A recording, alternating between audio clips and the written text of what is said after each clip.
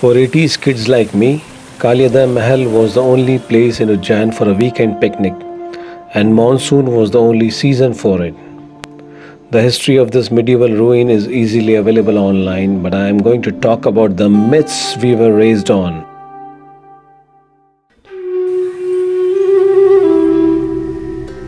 People come here not for the dilapidated palace, but for the water bodies around it. Few entered this structure that was topic of ghost stories.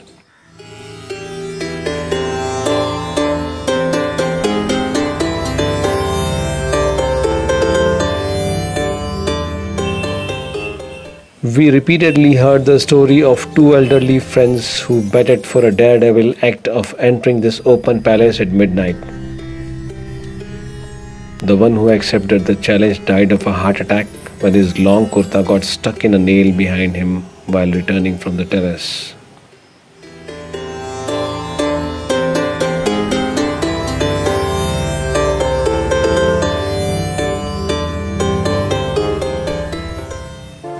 These are the supposedly 52 interconnected water chambers where its dissolute king indulged in debauchery with his concubines while chain smoking on weeds. The tyrant had instructed the guards not to look in even if they hear a shout. The guards strictly obeyed the dictate after one of them was beheaded for violating it.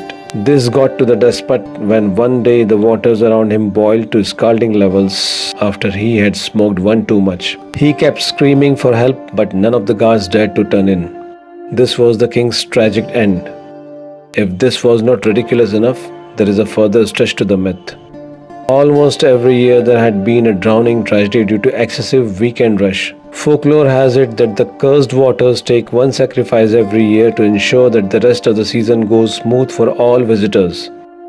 So the big question at the beginning of every monsoon was who is the chosen one this year? This is a recent structure, neglected and used by the city's underbelly to do everything that the medieval king did in the waters. Though the adjacent lawn is used more constructively, for playing outdoor sports. The hindsight has its own dynamics. The spookiness quotient of the palace remains the same.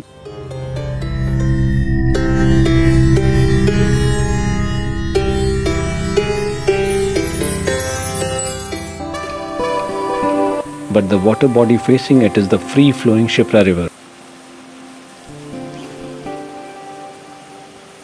Before the fishing ban, this area was thronged by fishermen who would cater to the Sunday crowd and make a killing.